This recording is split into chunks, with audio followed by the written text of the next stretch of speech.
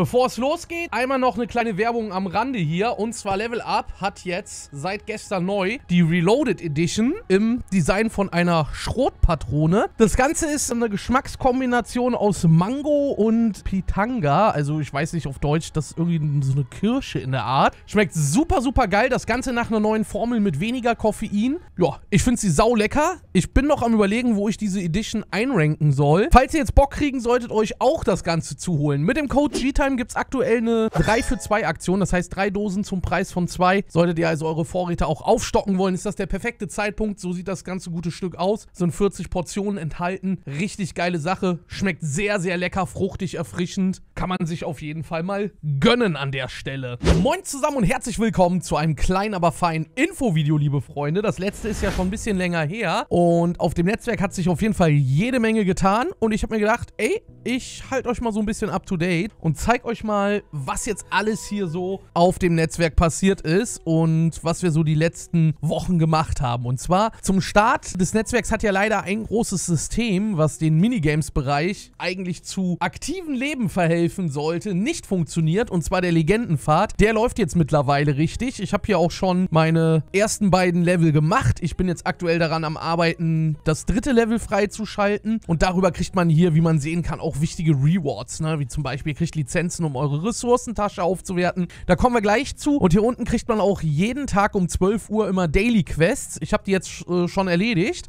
Ja.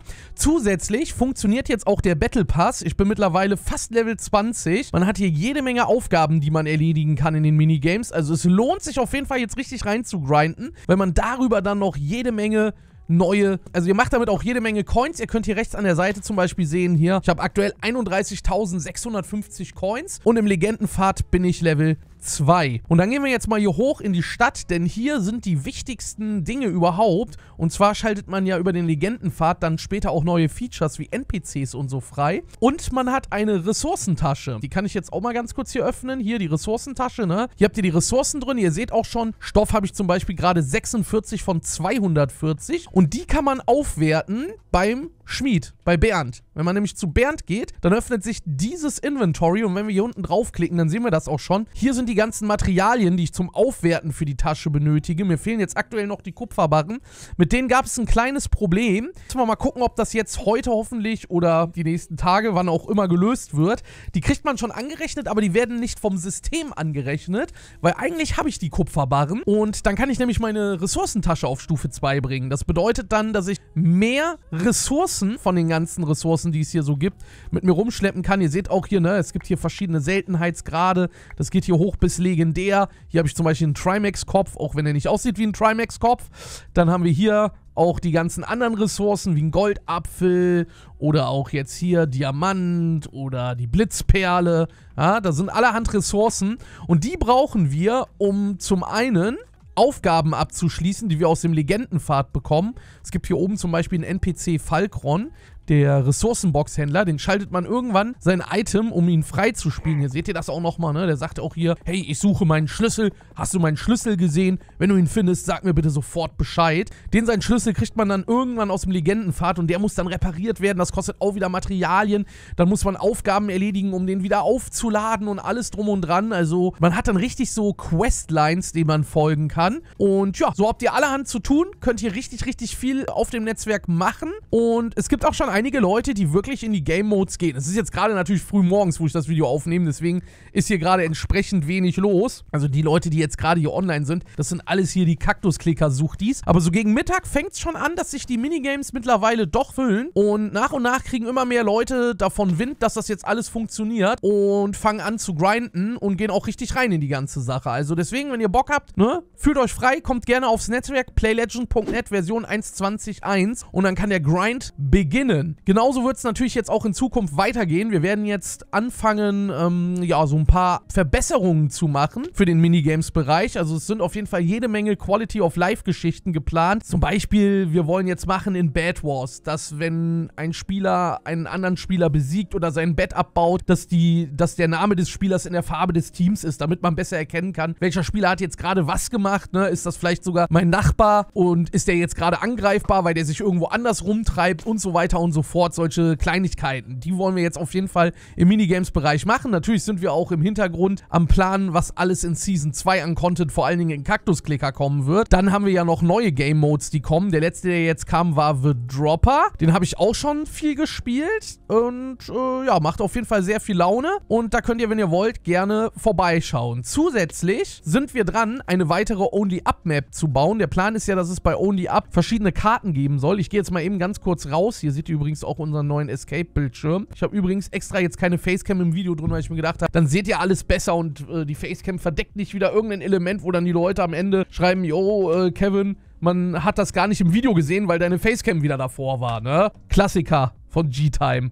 So, das hier ist das gute Stück. Das ist die neue Only-Up-Map, die gerade in Arbeit ist. Im Moment sind die Arbeiten gestoppt, da kommen wir gleich zu. Die gehen aber in Kürze weiter. Wir wollen am 11. Februar, das ist auch schon auf Twitter angekündigt, ein Riesen-Event wieder machen zum Release dieser Map. Und das Ganze wird wieder mit Cratern stattfinden. Das heißt also, ich gehe davon aus, am 11. Februar wird auf dem Netzwerk auch wieder ordentlich was los sein. Und das lohnt sich auf jeden Fall dann vielleicht mal in dem Event vorbeizuschauen, Leute. Ja, also ihr seht die Map, die ist richtig, richtig cool. Eine Sache, die uns ganz, ganz wichtig war, wir wollten, dass diese Map auf jeden Fall deutlich einfacher ist als die aktuelle Only-Up-Map. Wir haben nämlich gemerkt, es gibt viele Leute, die haben Spaß an Only-Up, aber die haben gesagt halt so, ey, die, die, die Map, die ihr habt, die ist einfach etwas zu schwer für mich und das demotiviert. Und es wäre geiler, wenn ihr eine etwas einfachere Map bauen würdet beim nächsten Mal oder generell euch da so ein bisschen drauf fokussiert. Stellt jetzt mal mein äh, FOV um. Also Leute, die meine Streams regelmäßig schauen, die werden schon gesehen haben, wie ich diese Map mal gespielt habe. Aber ich zeige euch das jetzt mal eben ganz kurz. Ihr merkt schon in den ersten Schritten, wenn ich hier hochgehe, rapide Unterschiede zur aktuellen, also zur Classic Only Up Map. Da gibt es ja eher so lange Jump'n'Run-Pfade, wo dann potenziell eine sehr hohe Gefahr besteht, runterzufallen. Und hier ist das wirklich so, man muss eher hochklettern. Ne? Man hat hier immer wieder auch Assets oder am, an den Gelände hier, ne, von den Bergen und so. Da kann man dann hoch. Und was halt richtig cool ist, es geht auch richtig in Gebäude rein. Also sehr, sehr viele. Wir haben wirklich, also hier steckt jetzt mittlerweile fast bald zwei Monate Arbeit in der Map drin. Die ist sehr, sehr detailliert gebaut, weil wir haben jetzt gesagt, okay, wir bauen jetzt einmal eine Map, wo wir noch mehr Arbeit und Qualität reinstecken als schon in der ersten. Und die erste Map war ja schon sehr aufwendig, aber das hier, da, also da hat sich das Bauteam auch komplett selbst mit übertroffen. Ihr seht es auch gerade, ne, wie das Ganze hier funktioniert. Also hier sind auch keine wirklich krassen Jumps drin. Und die Jumps, wo man komplett runterfallen kann, die sind so gebaut, dass sie eigentlich jeder schaffen sollte. Aber wenn man halt runterfällt, regt man sich auf, dass man so doof war, da runterzufallen. Ja, auch hier guckt es euch an. Das ist alles sehr, sehr easy gebaut. Ja, man kann hier wirklich an alles ranspringen. Das Adrenalin wird auf jeden Fall vorhanden sein und es ist deutlich einfacher als auf der ersten Map. Aber man muss halt trotzdem aufpassen, dass man nicht runterfällt. Ne? Hier gerade eben wäre es schon fast geschehen. Und hier seht ihr das, was ich meine immer wieder. Ne? Man hat hier immer wieder so, so, so, so Stellen, wo man den Weg so ein bisschen herausfinden muss. Und das finde ich halt sehr cool gemacht. Und es gibt wirklich richtig, richtig große Gebäude, wo ihr dann auch sehr lange beschäftigt seid, die zu erklimmen und die Wege zu finden. Das macht aber auch einen Riesenspaß. Also ich habe die Map jetzt schon mehrfach im Stream so ein bisschen bei den Faden, die vorhanden sind, Probe gespielt und hatte jede Menge Spaß dabei. Und man hat nicht mehr dieses, dass man durchgehend über so Jump'n'Run-Wege geht, wo man dann seinen kompletten Progress im schlimmsten Fall verliert. Ne? Hier seht ihr das jetzt auch gerade. Ich bin jetzt hier in einem Gebäude unterwegs und so funktioniert das dann. Hier haben wir jetzt zum Beispiel eine Leiter, da kann man dann hochgehen. Seht ihr, und dann geht das hier immer weiter. Man kommt hier immer weiter im Gebäude hoch. Finde ich sehr cool gemacht. Und ja, ne, und das geht hier immer weiter. Jetzt geht es hier immer höher. Jetzt kann man hier durch das Gebäude, kommt dann hier immer höher. Ah, wir müssen jetzt hier von hier rüber. Zack, ne, und dann sind wir jetzt schon hier draußen. Und das hat jetzt schon ein bisschen Zeit gekostet. Aber es hat richtig Laune gemacht. Hier sind zum Beispiel auch Stellen, das kann ich jetzt mal zeigen, wenn jetzt hier ein Spieler langläuft und nicht so aufpasst. Hier am Anfang sind noch Stellen, wo man drauffallen kann. Aber es gibt hier auch Stellen, wo zum Beispiel das Glas weg ist. Und hier würde man dann tendenziell komplett runterfallen. Das sind aber so Stellen, wo die Spieler dann selber schuld sind. Da muss man wirklich gut aufpassen. Und sowas wollten wir mehrfach drin haben, dass die Leute nicht immer dieses, ja, diese schweren Sprünge über den Abgrund haben. Weil ich glaube, das ist so eine Sache, die die Leute halt sehr frustriert. Könnt ihr ja auch mal in die Kommentare schreiben, wie ihr das ganze Konzept findet von dem, was ihr jetzt hier so in der kurzen Zeit gesehen habt. Ne? Wenn ich jetzt im Video die ganze Map zeigen würde im Detail, das würde so ein bisschen den Rahmen sprengen. Ich versuche schon gerade so schnell es geht hier durchzulaufen, um euch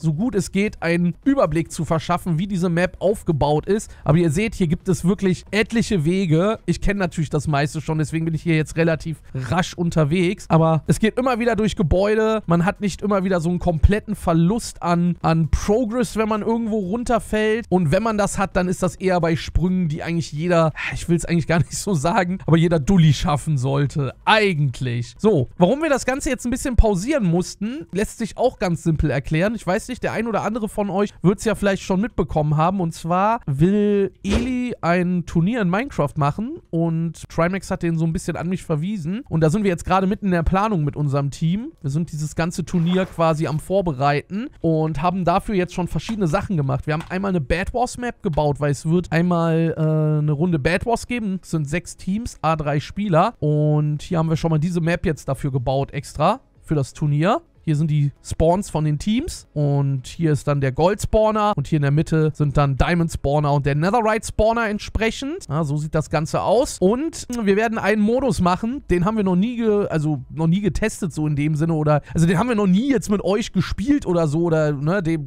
kenne ich auch nicht, dass das andere Netzwerke oder so anbieten. Und zwar wird das ein Warden Escape Parcours werden. Das Ganze funktioniert folgendermaßen. Wir sind jetzt gerade hier in so einer Art Parcours. Wir haben hier eine eigene Map gebaut, die so ein bisschen so eine Art Eigeninterpretation vom Deep Dark ist. Und Ziel des Modus ist, oder des Ganzen, die Teilnehmer müssen quasi von Punkt A nach Punkt B, was das Ziel ist, kommen, ne, eine goldene Druckplatte oder so erreichen. Und das Ganze geht auf Zeit. So, und das Besondere bei diesem Parcours ist, man muss vorsichtig sein. Man darf hier nicht, ich kann das einmal demonstrieren, einfach so durchlaufen. Denn, ja, ich weiß nicht, ob hier irgendwo was ist oder... Ja, da. So, habt ihr schon gehört, ne? Hier sind auf jeden Fall solche Skulk-Sensoren. Es gibt auch Skulk-Striker. Und wenn man zu laut ist, dann kann es passieren, dass man den Warden aktiviert. So, und wenn der Warden aktiviert wird, ganz unangenehm, man kann hier nämlich auch so rüberjumpen, dann wird der einen verfolgen. Und das hier ist jetzt noch ein Tutorial-Bereich. Ich will den jetzt auch nicht ganz spoilern. Ne? Und hier wird eine Tür hinkommen. Und wenn man diesen Tutorial-Bereich abgeschlossen hat, also da wird irgendwie, das geht so fünf bis zehn Minuten, dann quasi öffnet sich die Tür und dann werden alle Teams gleichzeitig hier beginnen. Und das ist die eigentliche Spielfläche, ja? Also hier wird wie so eine Art Deep Dark Schloss gebaut. Kann das jetzt auch mal äh, die Night Vision eben wieder reinmachen. Ne? Ich will jetzt hier nicht zu viel spoilern, aber hier wird dann quasi das Ziel sein. Das wird auch markiert sein. Also die Teilnehmer werden auf jeden Fall sehen, wo der Weg lang geht. Die müssen aber leise sein. Es gibt auch Parts, wo man den Warden wieder abschütteln kann, wenn er einen verfolgt.